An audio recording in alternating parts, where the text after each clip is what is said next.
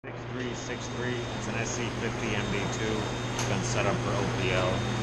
There's new door switches, a new door gasket, new water valve, new siphon break, new drain valve, a new OPL start kit, new drum bearings, new motor bearings,